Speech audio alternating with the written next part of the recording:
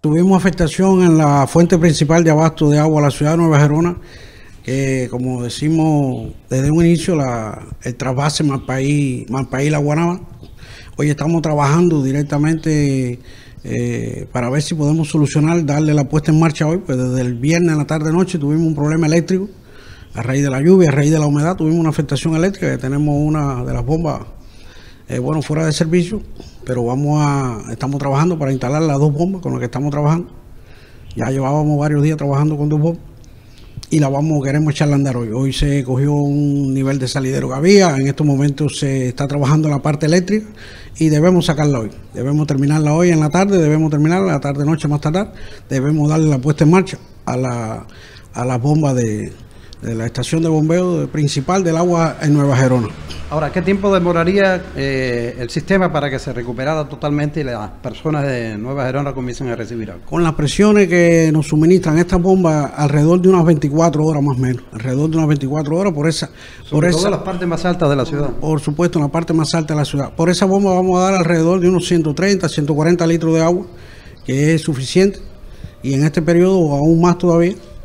Eh, esperemos en las próximas 24 horas que ya se, todo el sistema esté restablecido completo, bueno, dando agua, por supuesto, como estábamos haciendo por los, por los consejos populares, Micro, Abel, Pueblo Nuevo y 26 de julio, y esperamos, esperemos que el resultado sea eficiente. También. Ahora cuando se recuperen, cuando comiencen a funcionar, ¿cuál sería el, la primera sección que recibiría agua? Vamos a empezar por donde, donde estábamos, que era en Micro 70. Vamos a empezar por Micro 70, que es donde estábamos y de ahí seguimos el ciclo, a ver Santa María, Pueblo Nuevo y así.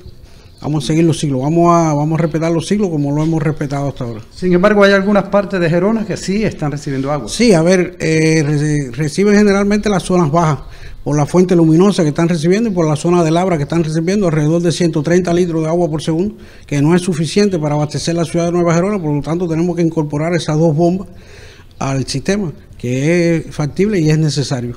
Sumando todas las bombas que entran a la ciudad de Nueva Gerona, ¿cuánto consume la ciudad por segundo? La ciudad nosotros debemos de suministrarle no menos de 300 litros.